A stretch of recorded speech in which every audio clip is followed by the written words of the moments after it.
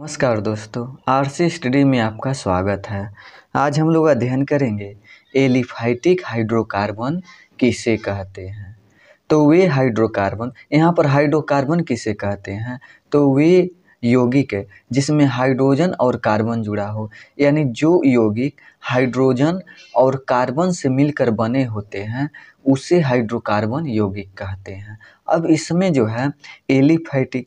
Aliphatic का मतलब यह होता है, जिसकी श्रृंखला खुली हो, यानी इस तरह से खुला हो, एक बंद नहीं हो, जैसे ऐसे आए और फिर ये लास्ट वाला इससे जुड़ जाए। इसमें जो है, यह जो है शुरू का, इस लास्ट वाले से फिर जाकर जुड़ जाए। तो इस प्रकार की बंद श्रृंखला ना हो, खुली श्रृंखला हो, यानी जैसे इस तरह से है, खुली श्रृंखला।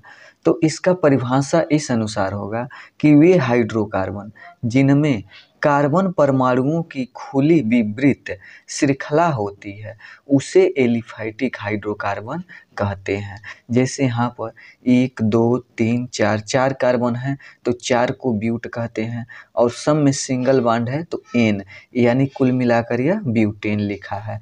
फिर उसी प्रकार इसमें एक, दो, तीन, यानी तीन कार्बन है तो प्रोप और डबल बांड है तो लास्ट में इन लगाते हैं, यानी प्रोपिन। तो यह एक खुली श्रृंखला है।